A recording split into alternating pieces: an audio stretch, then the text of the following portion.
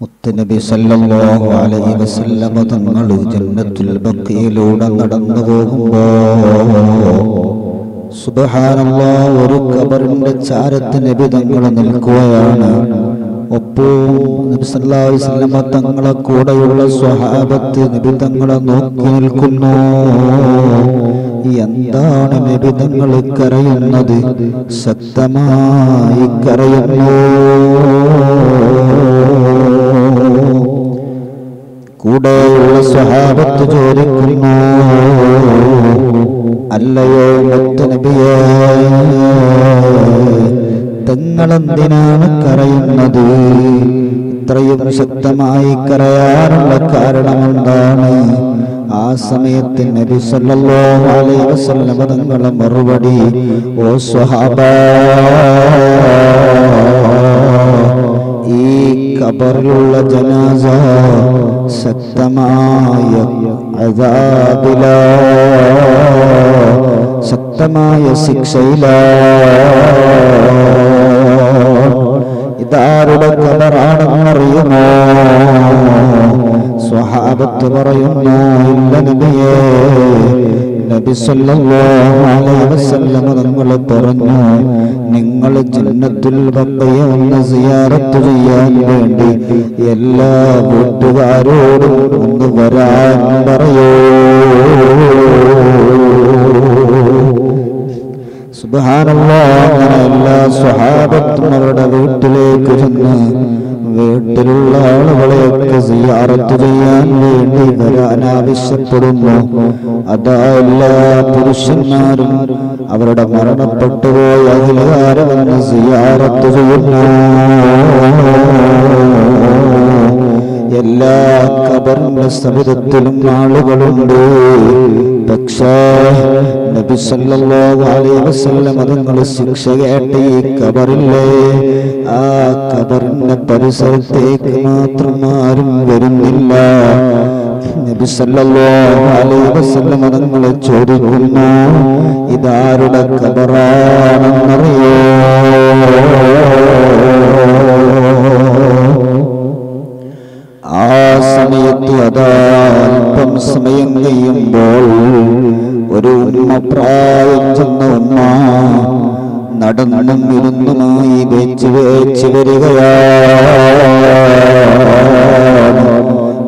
മുത്തുനബി സല്ലല്ലാഹു അലൈഹി വസല്ലം തങ്ങളുടെ അടുത്തേക്ക് എത്തുമ്പോൾ നബി തങ്ങൾ ചോദിക്കുന്നു ഇത് നിങ്ങൾ ആരുടെ കബറാണ് ആ ഉമ്മയുടെ മറുപടി ഇതെന്റെ മകനാണ് നബിയേ.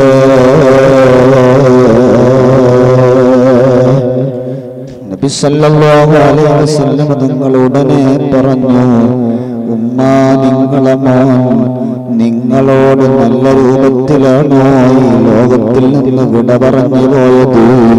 അതല്ല നിങ്ങളുടെ അതൃപ്തിയിലാണോ വിട പറഞ്ഞു പോയത്? നിങ്ങളെ പൊരുത്തമില്ലാതെ നിങ്ങളെ തൃപ്തിയില്ലാതെ വിട പറഞ്ഞു പോയ മകനാണോ?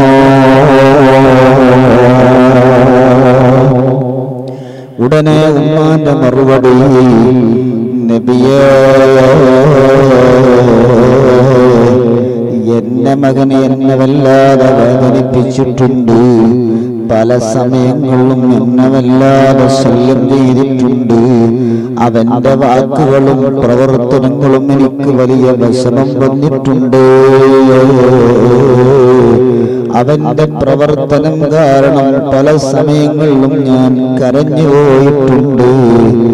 ഉടനെ നബിത്തങ്ങളെ ചോദ്യം ഉമ്മ ഞങ്ങളതൊക്കെ പൊരുത്തപ്പെട്ടു കൊടുക്കാൻ തയ്യാറുണ്ടോ? ഉമ്മാന്റെ മറുപടി ഒരിക്കലും പൊരുത്തപ്പെടാൻ എന്റെ മനസ്സ് സമ്മതിക്കുന്നില്ല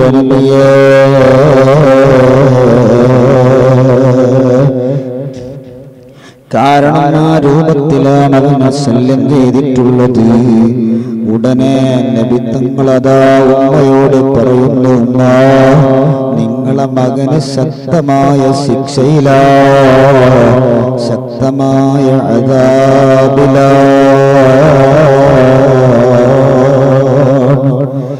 ആ ഉമ്മയോട് പറയുന്നു നിങ്ങൾ ഇങ്ങോട്ട് അടുത്തു വരൂ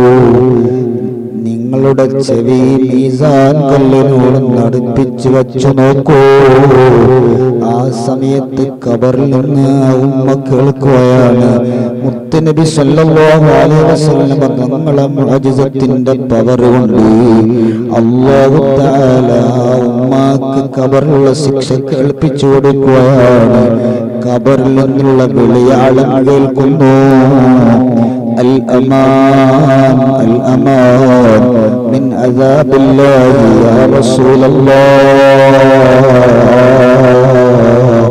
കബറിൽ ശക്തമായ ശിക്ഷയാണ് നബിയെ ഒന്ന് രക്ഷപ്പെടുത്തി തരുമോ നബിയേ ഈ നിലവിളിയും ശിക്ഷയുടെ ശബ്ദവും കേൾക്കുമ്പോ നബി സല്ലല്ലാഹു അലൈഹി വസല്ലം തങ്ങൾ ആ ഉമ്മയോട് പറയുന്നു ഉമ്മ ഇനിയെങ്കിലും നിങ്ങളൊന്ന് പൊരുത്തപ്പെടുമോ? ഈ ശിക്ഷ കബറിൽ കിടക്കുന്ന മോന്റെ ശിക്ഷ ആ ഉമ്മ ഡയറക്റ്റ് കേൾക്കുമ്പോൾ ഉമ്മാന്റെ മനസ്സിന് മാറ്റം വന്നുപോയി. ഉമ്മ പറഞ്ഞു ഞാൻ പൊറു- പുറത്തു കൊടുത്തു നബിയേ. ആ സമയത്ത് കബറിൽ നിന്ന് വീണ്ടും ഒരു വിളിയാളം വരുന്നു. ജസാക്കല്ലാഹു യാ റസൂലല്ലാഹ് നിബിതങ്ങൾക്ക് ആശീർവാദം വരികയാണ് അഭിനന്ദനം വരികയാണ്. ഇവിടെ നമുക്ക് ശ്രദ്ധിക്കാനുള്ള ഒരുപാട് കാര്യങ്ങളുണ്ട്. നമ്മുടെ ഉമ്മ നമ്മളെ കൈവടിഞ്ഞാലും ഉപ്പമാര് നമ്മെ കൈവടിഞ്ഞാലും നമ്മ കൈവടിയാത്തൊരു നേതാവുണ്ട്. അതാരാണെന്നറിയോ? കൽബിന്റെ കൽവായ കരളിന്റെ കരളായ ജീവന്റെ തുടിപ്പായ ശരീരത്തിന്റെ ഹസ്തമാനമായ വർണനകൾ കൊടുങ്ങാത്ത വരകൾ കിടങ്ങാത്ത മുഹമ്മദുർ റസൂലുള്ളാഹ് സ്വല്ലല്ലാഹു അലൈഹി അതുകൊണ്ട് ആ നബിതങ്ങളാണ് നമ്മുടെ കബറിൽ നമുക്കുള്ള സമാധാനം. നാളെ ആശ്രയം നമുക്കുള്ള രക്ഷകന നബിതങ്ങളാണ് സുറാത്ത് കാലത്തുമ്മലും മറ്റു സമയങ്ങളിലെല്ലാം എല്ലാ പ്രതിസന്ധി ഘട്ടങ്ങളിലും ഒരു മർമ്മിനായ മനുഷ്യനെ സംബന്ധിച്ചിടത്തോളം അവനിക്ക് രക്ഷകനായി വരുന്നത് ഹബീബ് റസൂലുള്ളാഹ്. സല്ലല്ലാഹു അലൈഹി വസല്ലമ തങ്ങളാണ്. അതുകൊണ്ട് ആ നബി തങ്ങളെയാണ് നമ്മൾ സ്നേഹിക്കേണ്ടത്. അവിടത്തെയാണ് നമ്മൾ മഹബത്ത് വെക്കേണ്ടത്. അവിടത്തോടുള്ള സ്നേഹമാണ് നമ്മുടെ മനസ്സിൽ ദൃഢമൂലമാകേണ്ടത്. നമ്മൾ ഏതെങ്കിലും ആഘോഷങ്ങൾ വരുമ്പോൾ മാത്രമല്ല എല്ലാ സമയത്തും ആ നബിതങ്ങളെ മനസ്സിൽ നമ്മൾ സ്പർശിക്കണം. ആ നബിതങ്ങളോടുള്ള മഹബത്ത് നമ്മുടെ മനസ്സിലുണ്ടാകണം. അള്ളാഹു താല നമുക്ക് മുത്ത് ഹബീബിനോടുള്ള മഹബത്ത് നമ്മുടെ മനസ്സിൽ വർദ്ധിപ്പിച്ചു തരട്ടെ.